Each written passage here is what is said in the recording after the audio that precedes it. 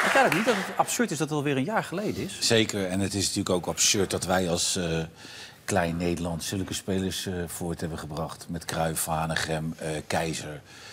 Dan gingen we weer verder met Gullit, Bergkamp en noem ze maar op. Ja. Dat is natuurlijk krankzinnig. En vooral deze, deze twee teams, zowel Feyenoord als Ajax... die hebben natuurlijk in principe de, de, de wereld geregeerd met z'n tweetjes. Dat is natuurlijk waanzinnig. 70 jaar, ja. Dat is natuurlijk waanzinnig. Ik bedoel, eh, zij hebben ervoor gezorgd dat, dat, dat ons voetbal gewoon serieus genomen werd in, eh, overal. Is toch, En, en ik, ik denk ook, kijk, er is geen discussie. Cruijff is de allerbeste speler die we ooit gehad hebben in Nederland. Ik denk ook niet dat hij ooit nog overtroffen wordt. Kijk, dat heb je een keer met Pele. Dat heb je een keer met Maradona. Dat hebben wij een keer met Cruijff gehad. Ja.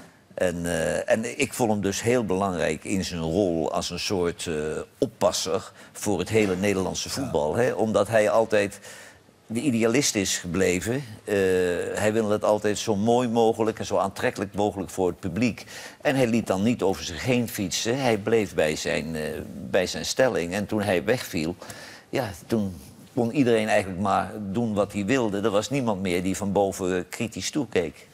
Nee, Ja, maar wat hij zei was is eigenlijk fantastisch. Hij, hij wou spelers beter maken. Maar dan komt, als je spelers beter maakt, ja, dan ga je beter voetballen. En dan ga je beter voetballen, ga je meer winnen.